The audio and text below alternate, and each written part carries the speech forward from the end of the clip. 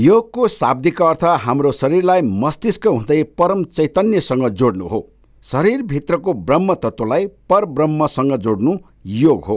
आत्मा र परमात्माको मिलन नै योग हो। शरीर तन्दुरुस्त र निरोगी बनाउन गरिने योग अहिले विश्वव्यापी बन्दैछ। एक्काइसौँ शताब्दीको व्यस्त जीवनशैलीमा रमाउने पुस्तकका लागि त झन् अमूल्य वरदान नै साबित भएको छ।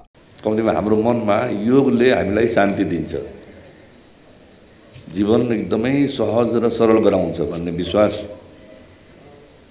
जुन पैदा गरिदिनु भएको छ त्यसबाट नै योगका विभिन्न सूत्रहरू आयामहरू व्यायामहरू गर्दै नै जानेछौँ र स्वस्थ मन स्वस्थ शरीरले मुलुकको शान्ति र व्यवस्थाका लागि अझै महत्त्वपूर्ण भूमिका सबै हाम्रा जवान र अधिकृतहरूले निर्वाह गर्न सक्नुहुनेछ।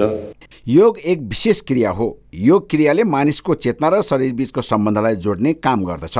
मन र मस्तिष्कको सम्बन्धलाई योग भनिने र योगबाट मानसिक शान्तिका साथै रोग प्रतिरोध क्षमताको वृद्धि हुने विश्वास गरिएको छ।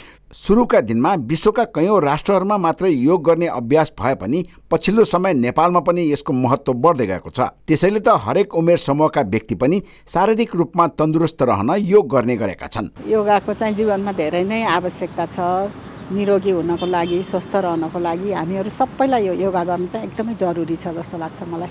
अब अल्छी चाहिँ गर्नु हुँदैन जस्तो लाग्छ किन भन्दाखेरि आफ्नै लागि हो होइन? आफ्नो स्व स्वास्थ्यको लागि गर्ने हो यो अरू कसैको लागि नभएर। साठी वर्ष भयो क्या मेरो उमेर? तर पनि यो योगाले एकदम फुर्ती जागेको छ कि एकदमै। एकदमै राम्रो छ एकदम सबले गरौँ सबले योग गरौँ निरोगी स्वस्थ हौँ। हामी योगा गऱ्यो भने आत्मीयता बढ्छ स्व स्वस्थ त्यतिकै हुने भयो।